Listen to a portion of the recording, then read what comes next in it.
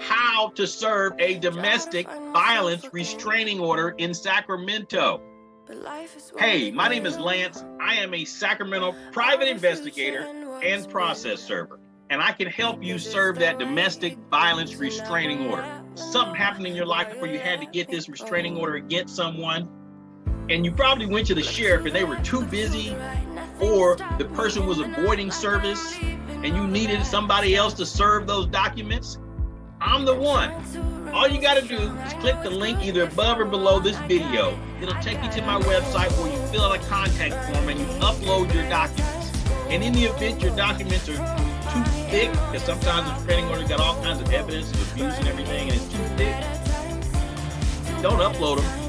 You drop them off in my office or I can meet you somewhere to pick them up. But here's how the steps work. Once I have your documents, you'll get an invoice online that you pay. Then I'll enter the data into the my process server software, which is the person's name, the addresses that I'm going to go to. So every time I go to a specific address, you get a GPS tag that I was there.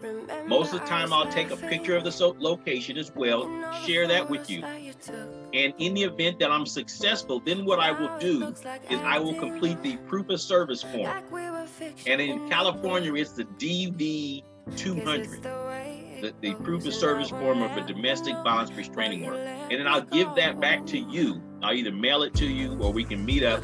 And then you go file that with the court so that they know know that the person the, the person that you get the restraining order against has been served. And if you're ever thinking about starting your own business as a process server, it's great. You work when you want, how you want, and it's a never-ending supply of clients because just think every case that's filed in court has to be served. Sacramento, we got a family law court, uh, small claims court, probate court, civil court, criminal court. So every county has several court. And just think how many cases are filed there a day. And each one of those cases has to be filed.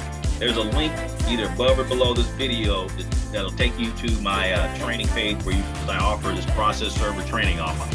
Have a great day.